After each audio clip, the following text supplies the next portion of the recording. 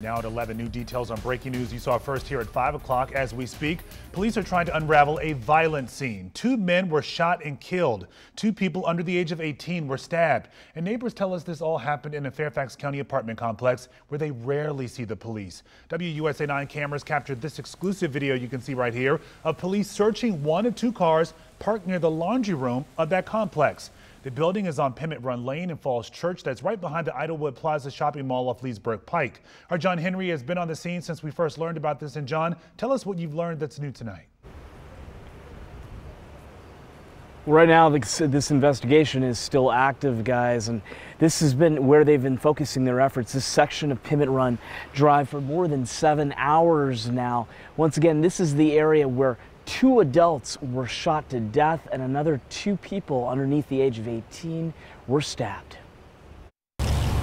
Around 3.30 at the Idylwood Village West apartment complex. I saw past like at least 10 police cars. Officers are making entry right now. Fairfax County Police encountered a violent scene. Possibly four to five injured. The kid came out with like a cut on his arm. Two stab wounds.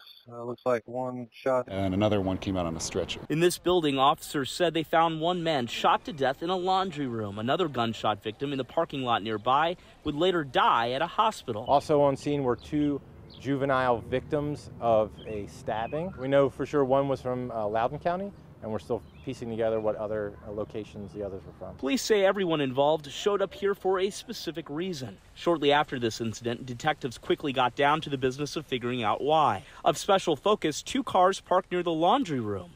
We spotted a backpack on the ground nearby. So we have searched the wooded areas, we've canvassed all of the adjacent apartment complexes uh, to gather more information. What's unclear, the exact connection that backpack and these cars had to the other big discovery police made here on scene. We did find a backpack with a filled with narcotics. Drugs, murder, all of it out of the ordinary in this community locals call family friendly. It's safe here, it's quiet. Especially in this area, we never see this happens. And while no arrests have been made in this case yet, police say they do not believe any threat is posed to the public at this time. Once again, they do not believe that this was a random incident. With the very latest in Falls Church, John Henry, WUSA 9.